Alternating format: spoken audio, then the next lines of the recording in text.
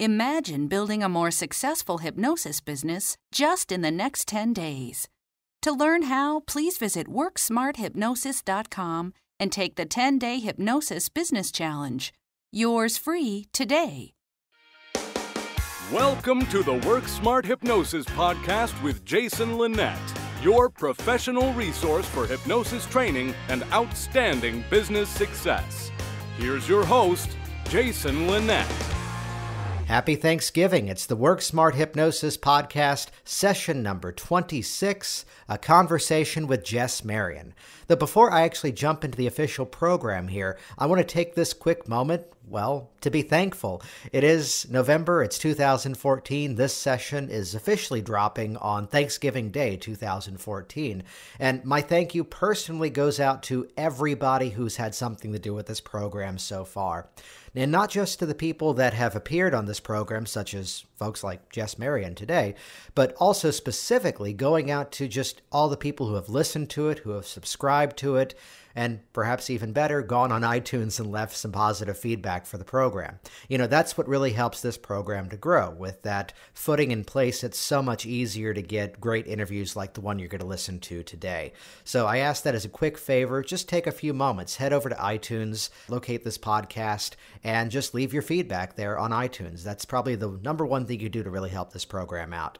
I want to jump into the content here today with Jess Marion. Now, I just first met her uh, recently at the HypnoThoughts Live convention out in Las Vegas, though I've been directly, though perhaps indirectly, aware of her work for quite some time now, thanks to some of the books that she's been publishing in recent months. So I want to jump into the program, though I will reference head over to On that page, with the show notes for this session, you'll see various links to both her website, her training website, as well as upcoming training opportunities that are outside of her uh, New York and Philadelphia area. And in addition to that, I will put direct links specifically to the books on Amazon as well. Highly recommend these books, they are fantastic. Here we go, session number 26 with Jess Marion.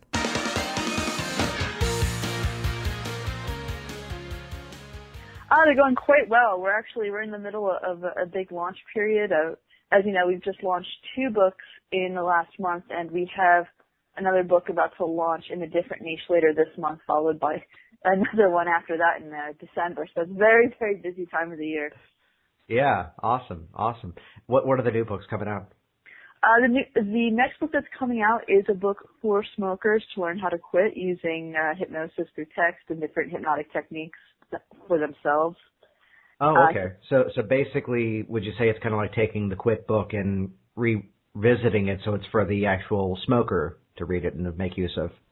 Yes, it, it's very it's very similar to that. It's a lot shorter than the Quit book because it's more experiential and it's it's been very interesting because it's essentially taking how we work with clients face to face and uh, putting it in text, which pr- provides its own challenges because you, there's no feedback coming back. So it's kind of like, okay, how can I take these exercises and yeah. adapt them so that a reader I've never met understands it and can go use it themselves?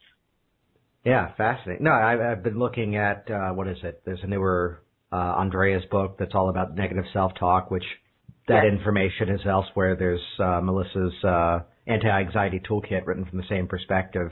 You know, being in New York, people think, oh, there's lots and lots of people who want to come to trainings, but the truth is, I mean, getting a local population to come into course after course after course provides its own challenges. So about a year and a half ago, we're like, okay, you know what, we need to branch out. And that's mm-hmm. when we got really heavy into the Ryan Deiss stuff and working with sales funnels online and transitioning our business from being primarily a brick and mortar business into something that a lot more people can have access to via the web. Absolutely. I mean, you look at the there's a quote that actually comes from the field of magicians, which was that the the amateur keeps changing his show to suit the audience, and the professional keeps changing his audience with the same show.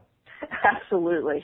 that instead of that branching out, I mean that's that's the story behind this podcast. I, I run a local meetup group, which I absolutely love, and I, I keep it up. And then there was one day where I kind of looked out and went, "Oh, it's the same people every month." Hmm. Let, let's widen the scope. Let's expand the audience and bring this thing further on out there. Uh, you and I have only really chatted a couple of times. Kind of, kind of share your backstory about how you got into all this. Well, for anybody who is being the fly on the wall and listening, I actually had the pleasure of meeting Jason uh, two years in a row at the HypnoThoughts conference out in Las Vegas, which is a fabulous event. Um, and my background is I'm a hypnotist and hypnosis trainer and NLP trainer. Uh, I got started in all of this actually back when I was at university doing my undergrad back in 2001. As luck would have it, my giant library at the University of South Florida had an immense section of works from Bandler and oh, wow. uh, Erickson and Dilts. Whenever I wanted to study break, I'd go grab myself some Starbucks and totally nerd out with like these these classic NLP and hypnosis books. And then from there, I studied for a long time, but I didn't really do anything with it. Uh, at the time, I was I had gotten my master's degree and was working on my PhD in anthropology, mm. and decided to do some training. And then two weeks after I did my after I graduated from my hypnosis training, I went ahead and opened a practice. That was 2010. So that I've I've been seeing clients uh, in New York and Philadelphia since that time. Um, and as I mentioned, I eventually went on to become an NLP master practitioner, an NLP trainer, a brain-based leadership trainer, uh, and the list goes on and on, all the way down to published author. And that's specifically why I want to chat with you today. The the NLP Mastery series, as well as some of the other books that have been coming out as well. Um, I, I've read through so far. I'm halfway through Deep Trance Identification. I've read through Swish, and what I like about them is just the ability to take the information. And I, I you used a phrase that I love too. I'm I'm the one that when I see here's a class that they're going to be doing three days of variations on parts therapy, and I go, oh, cool. So when it's all of a sudden, here's an entire book just on one specific technique, yeah. one specific pattern. I love that stuff. Um, what uh, kind of kind of walk me through the the journey of deciding to venture into the part of writing and just sharing that information and just really workshopping the information. Sure. So we um me and my two lovely, absolutely awesome partners and best friends, Sarah Carson and Shawn Carson, um, we had been doing uh, hypnosis trainings together since 2012, and it was probably fall of 2012. Um, clients where we thought, you know what, let's publish a book. Let's do it. Mm-hmm. So then we had to decide, okay, well, what did we want to publish? And we had this idea for the NLP Master Series because one of the problems that we've noticed is when we teach an NLP practice, the, the depending on who's teaching it, we teach it in 12 days. Some people teach it in 18 days. Uh, but even within that time period, because there's so much material in it, you know, the focus is kind of divided. You have the, the practice focused specifically on developing coaching skills. Then you may also have what we do is we focus on the coaching skills, but we also bring in a lot of the business applications into it. Uh, yes. Especially because uh, Shawn Carson has over 20 years in, in international business experience, so it's kind of his brainchild. So it's fitting those those two aspects in and still teaching the skills in a way that the students walk away and they have a skill base whether they want to use it for business. Unfortunately, some of the patterns we could take a weekend or we could take a week, you could take a month in studying, just devote yourself to one of these patterns and begin to get experience with it and understand it. In most practice cases, maybe you have a couple hours, maybe sometimes a day. That's a very, that's a, that's a real rarity in terms of the field for our students, it's really, okay, here are the steps. This is why we use it. Go out and do it and experience how it's going to transform your life now. Yes, um, that challenge that once students are starting to understand the basic principles, then you're already moving on to something else. Exactly. And it's yeah. just, it's, it's the, it's the flow of the course and it's the time constraints because in New York and I'm sure elsewhere, nobody's going to commit to a six month NLP practitioner course every yeah. weekend. Um, I found in, in my own experience that it wasn't until I was out using the stuff with clients over and over and over again that I really started to understand it. And I, I know my partners had the same experience of, you know, we'd either teach something or learn something, and that week, for all our clients, found ourselves unconsciously doing it anyway.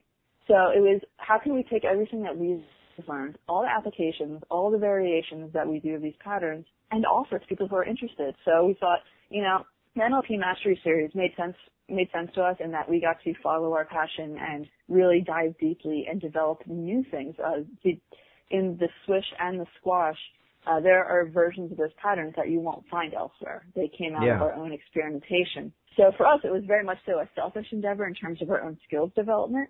um, and then it made sense on the business side because the NLP books that are out there, any of the basic NLP books are really a, a, an overview of the different patterns, like 100 NLP patterns or the big book of NLP.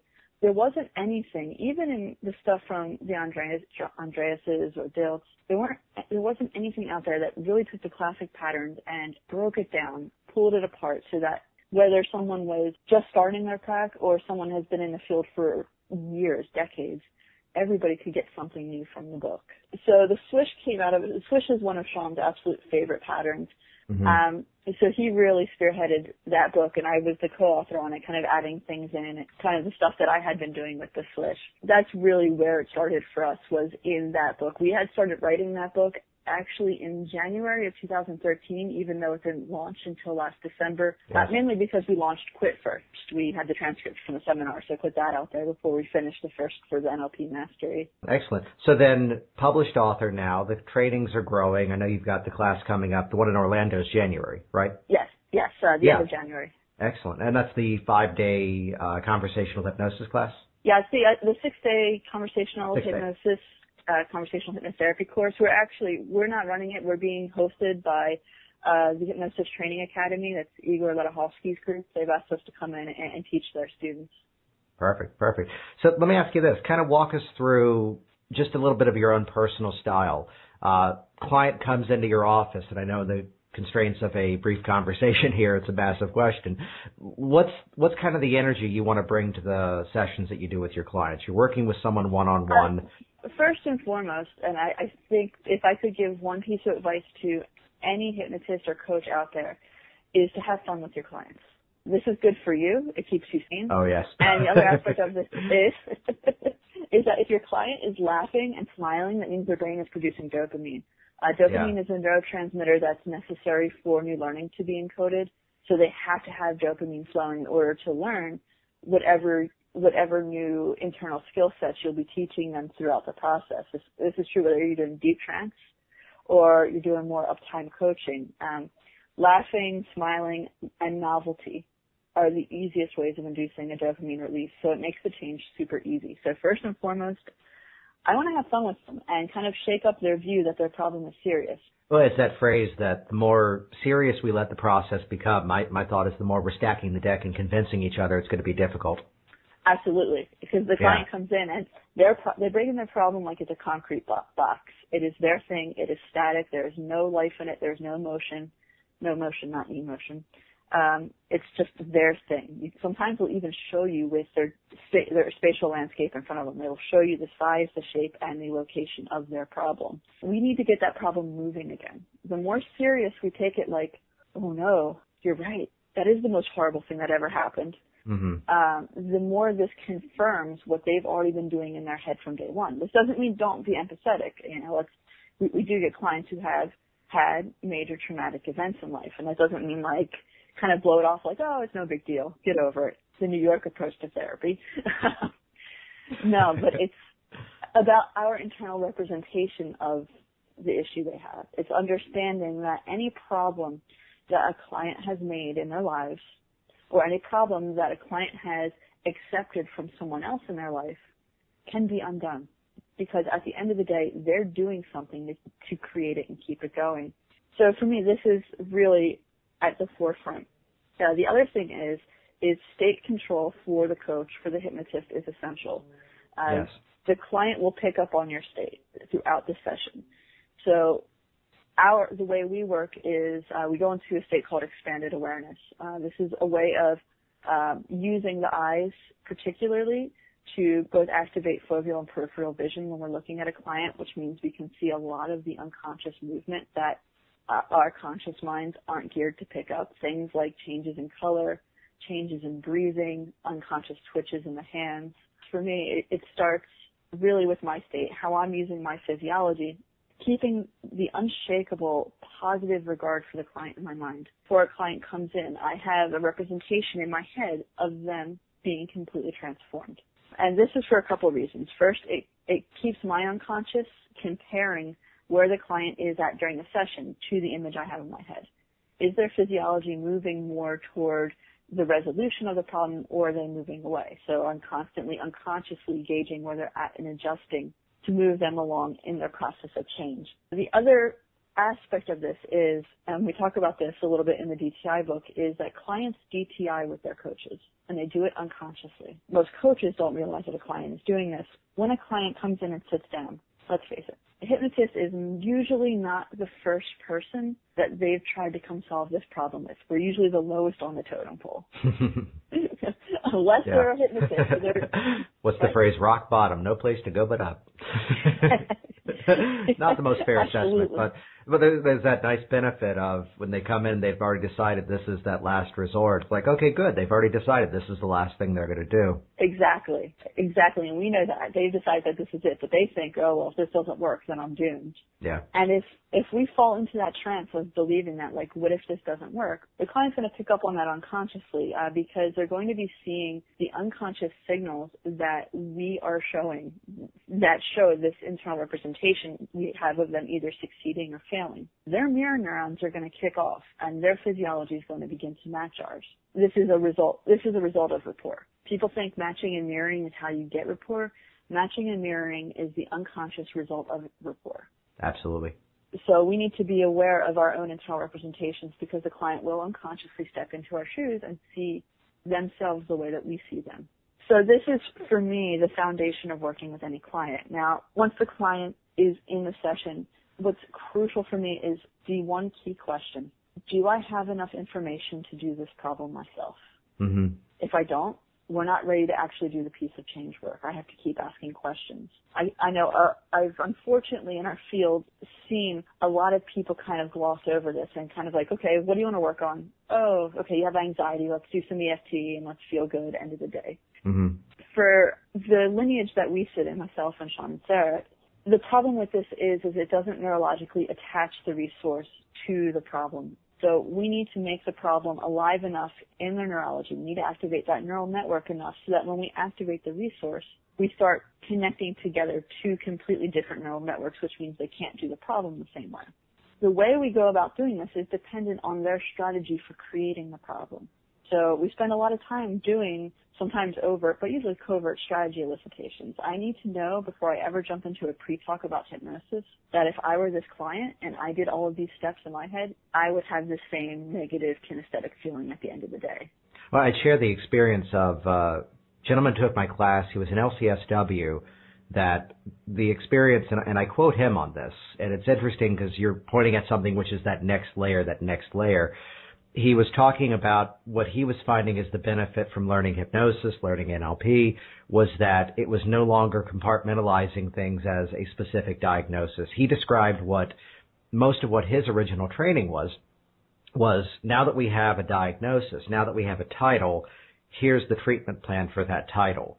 And yes. his response was by going through hypnosis, by going through NLP training, he was able to look at, he goes, I could see a hundred people with the same issue and they're all different now, as opposed to, here's the title, follow this plan. Yet still, even as we're doing that, there's that extra layer that we all can go into in terms of understanding how it is that person goes home and how it is they feel what they feel, they experience what they experience, and how they create that map within their mind. Which as soon as we have that map, we can help them break out of it as well. Absolutely, and you know this this type of work. This is really came out of thanks to the work of people like Erickson and primarily Bandler, that the chunking down to the smallest moving parts. You know, at the end of the day, a diagnosis is a nominalization. It doesn't really tell us anything, but it keeps a problem in place.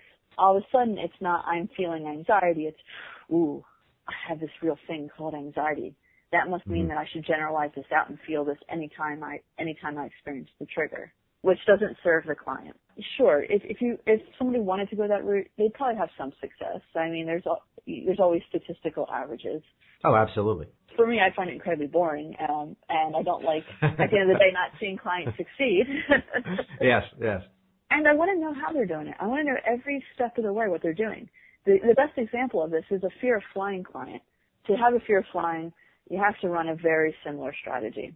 It begins, of course, with something in the external world, either seeing a plane, arriving at the airport, or seeing the confirmation in the email box. then if you slow the process down between that and feeling bad, there's typically uh, a series of terrible images, seeing themselves on a plane, in a plane doing some horrible thing, either seeing through their own eyes or seeing the plane from the outside. Then they're going to run some dialogue saying not again. Then they're going to run some dialogue and run a meta commentary to that about what if I lose control on this flight? And then they're going to feel bad and then run even more commentary about losing control. And then there may be some more pictures thrown in there from past experiences. It's a pretty simple strategy at the end of the day. If we drop them in the trance and say, you're not afraid of flying, you're not afraid of flying, you're not afraid of flying, sure, that, that definitely could work for some people. And I do direct suggestion towards the end of, of a session, most sessions. However, if we don't change the pictures, if we don't teach the client how to use their working memory, we're shrinking down the possibility and the probability of us having success with them. And for anybody out there who's working with fear of flying clients, a really simple tip is to recognize that people who have a fear of flying are not afraid of flying. Nobody is afraid of sailing comfortably through the sky. they're either afraid of crashing or they're afraid of being in confined spaces. So keep that in mind for your reframes. Yeah, absolutely, absolutely. So Jess, where can people find you online? Uh, they can find us at NLP uh, NLP Train New York, or actually bestnlp.com is the best place. That's B E S B E S T New NLP New York.com. Perfect. And I'll put links to that in the resources here for this session. Jess, thanks so much. Thank you so much. Thanks so much for this opportunity, and thanks to all the listeners for tuning in. It was a great time, and I look forward to seeing you again this year at HypnoThoughts Live. I'll see you soon. Thanks. Thanks for listening to the Work Smart Hypnosis podcast at WorkSmartHypnosis.com. Hey there, it's Jason, and I want you to be one of the first to find out as we upload amazing new content. So do this right now. Click the subscribe button right here on this video. That's going to link you to our YouTube channel here, and you will be the first to find out as new resources and downloads are made available. Do it now.